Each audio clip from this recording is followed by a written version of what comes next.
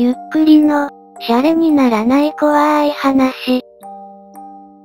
山の測量。2チャンネル、オカルトいた、シャレコ忘れ、そこに山での恐怖体験が書き込まれた。先月のことです。えーと俺は山へ測量に入りました。山の測量に行くときは、最低3人で行くようにしていたんですけど、行くはずだった奴がインフルエンザで倒れて、他に手の空いてる人もいなかったんで、しょうがなく2人で行くことになったわけです。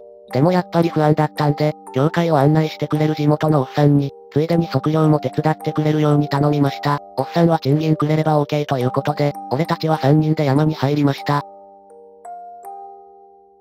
前日からの雪で山は真っ白でした。でもポールがよく見えるので、測量は意外にサクサク進みました。午前中いっぱいかかって尾根のところまで測ったところで、おっさんの携帯が鳴りました。おっさんはしばらく話をしていましたが、通話を終えると、急に用事ができたので降りると言い出したのです。おいおいって思ったんですけど、あとは小径に沿って土地の境界やから、そこを測っていけばいいから、って言われて、小径沿いだったら大丈夫かもな、まあしゃあないか、みたいなムードで、結局、A と俺の二人で続きをやることになりました。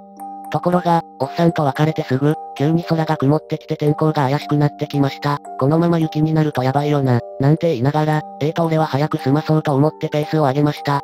ところで、俺らの会社では山の測量するのに、ポケットコンパスって呼ばれている器具を使っています。方位磁石の上に小さな望遠鏡がついていて、それを向けた方向の方位や高低角がわかるようになっています。軽くて丈夫で扱いが簡単なので、山の測量にはもってこいなんです。俺はコンパスを水平に据え、ボールを持って立っている A の方に望遠鏡を向けて覗きました。雪に覆われた地面と、枝葉に雪を抱えた木立が見えますが、ボールも A の姿も見えません。少し望遠鏡を動かすとロン毛の頭が見えたので、次にポールを探して、メモリを読むためにピントを合わせました。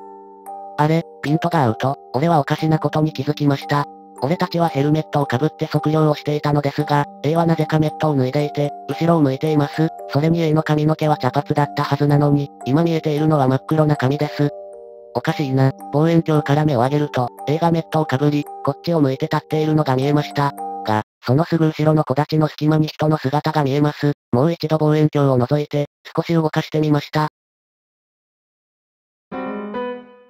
女がいました。立ち木に寄りかかるように、後ろ向きで立っています。白っぽい服を着ていて、黒い髪が肩を覆っていました。こんな雪山に、なんで女俺はゾッとして、望遠鏡から目を離しました。おい、A が俺の方に声をかけてきました。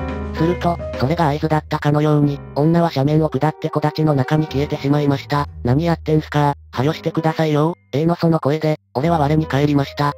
コンパスを読んで野鳥に記入した後、俺は小走りで A のそばに行って尋ねました。今、お前の後ろに女立っとったぞ。気ついてたか。またそんなこと言うて、やめてくださいよ。笑いながらそんなことを言っていた A も、俺が真剣だとわかると、マジっすかいや、全然わかりませんでしたわ。と、表情がこわばりました。A と俺は、改めて小立の方を探りましたが、人行きが見えるばかりで女の姿はありません。登山してるやつとちゃうんですかいや、そんな風には見えんかった。そこで俺は気づきました。あの女は、この雪山で一人で荷物も持たず、おまけに半袖の服を着ていたんです。それ、ほんまにやばいじゃないっすか。気狂い女とか、A はかなり怯えてました。俺もビビってしまい、いても立ってもいられない心持ちでした。そんなことをしているうちに周囲はだんだん暗くなって、とうとう雪が降ってきました。はよ終わらして山下ろ。こらやばいわ。俺たちは慌てて測量作業を再開しました。天候はどんどん悪化して、吹雪のようになってきました。ボールを持って立っている A の姿も見にくいし、あっという間に降り積もる雪で象形もわかりづらくなってきました。携帯も県外になっていました。俺は焦ってきて、一刻も早く山を降りたい一心でコンパスを据え付けました。レベルも6に取らずに、A の方に望遠鏡を向けようとしてそっちを見ました。すると、さっきの女が A のすぐ後ろに立っていました。今度は前を向いているようですが、吹雪のせいでよく見えません。A は気づいていないのか、じっと立っていました。おい、俺が声をかけても A は動こうとしません。すると、女の方が動くのが見えました。慌てて望遠鏡をそっちに向けてビビりながら覗くと、女は目を閉じて A の後ろ髪をつかみ、後ろから耳元に口を寄せていました。何事か囁いているような感じです。A は逃げようともしないで、じっとうつむいていました。女はそんな A に囁き続けています。俺は恐ろしくなって、ガクガク震えながらその場に立ち尽くしていました。やがて女は A のそばを離れ、雪の斜面を降り始めました。すると、A もその後を追うように、立ち木の中へ入っていきます。おい、何してるんや、戻れはよ戻ってこい。しかし A はそんな俺の声を無視して、吹雪の中、女の後を追いかけていきました。俺は測量の道具を放り出して後を追いました。A はよろよろと小立ちの中を進んでいます。やばいって、マジで遭難するぞ。このままでは自分もやばい。本気でそう思いました。逃げ出したいっていう気持ちが爆発しそうでした。周囲は吹雪で真っ白です。それでも、なんとか A に近づきました。A、A、しっかりせえ、死んでまうぞ。すると、A がこっちを振り向きました。A はうつろな目で、あらぬ方向を見ていました。そして、全く意味のわからない言葉で叫びました。口が見たこともないくらい思いっきり開いていました。本気で下顎が胸につくくらい、舌が垂れ下がり、口の端が裂けて血が出ていました。あれは完全に顎が外れていたと思います。そんな格好で、今度は俺の方に向かってきました。それが限界でした。俺は A も測量の道具も何もかも放り出して、無我夢中で山を降りました。車のところまで戻ると、携帯の電波が届くところまで走って、会社と警察に電話しました。やがて捜索隊が山に入り、俺は事情聴取されました。最初はあの女のことをどう説明したらよいのか悩みましたが、結局見たままのことを話しました。警察は淡々と調書を取っていました。ただ、A に女が何かを囁いていた、というところは、繰り返し質問されました。翌々日、遺体が一つ見つかりました。白い夏服に黒髪、俺が見たあの女の特徴に一致していました。俺は警察に呼ばれて、あの時の状況についてまた説明させられました。その時に警察の人から、その遺体について色々と聞かされました。女の身元はすぐに分かったそうです。去年の夏に、何十キロも離れた町で行方不明になっていた女の人でした。ただ、なぜあんな山の中にいたのかはわからない、ということでした。俺はあの時のことはもう忘れたいと思っていたので、そんなことはどうでもええ、と思って聞いていました。けれど、一つ気になることがありました。女の遺体を調べたところ、両目にひどい損傷があったそうです。俺は、A のやつそんなことをしたのか、と思いましたがどうも違ったみたいで、その傷は随分古いものだったようです。目は全然見えんかったはずや、警察の人はそう言いました。結局、A の行方は今でも分かっていません。残された家族のことを考えると、A には生きていてほしいとは思いますが、あの時のことを思い出すと、正直なところ、もう俺は A に会いたくありません。ただ、なんとなく嫌な予感がするので、先週、髪を切って坊主にしました。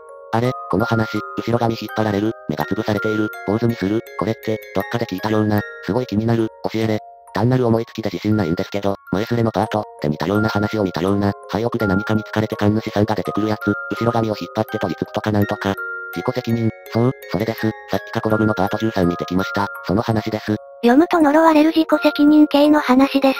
ああ、やっぱりそう思いますか。俺もその話、前に読んだことがあって、そんで、今回のことで気になりだして、髪の毛坊主にしたんです。A も髪の毛伸ばしてたし、あの話、自己責任、の方言見てると、女が行方不明になった街に近い感じがしたし、俺はまあ勝手に、女についてたものが A に移って、それで女は死んでもたんかなって考えて、で、A は今どこにおるんやろうって思うと、なんか怖くて髪の毛切ったんです。ここへ書き込んだのは、ちょっと感じ悪いかもしれへんけど、誰かの反応を見たかったんです。俺の不安が、自己責任の話と共通点がある。普通レベルのものなのか、妄想レベルなのかが知りたかったんです。果たして A はどこ行ったのでしょうか？そして投稿者は坊主になったことで取り憑かれることを回避できたのでしょうか？いかがでしたか？とっくに死んでいたはずの女、行方不明になった A、そして他の話との共通点、謎の多いお話でした。自己責任系の話は、廃墟に友達と忍び込んだところ、次々とたたられて自分以外が死に、自分が死にたくないから話を広めて自分のところにすぐ来れないようにする。みたいな話でした。ちなみに髪を短くするのは、そのたたりは逃げると後ろ髪を掴んでくるからだそうです。なのでハゲてる方は安心してその話を読んでくださいね。ぜひ感想をお聞かせください。ご視聴ありがとうございました。また見てね。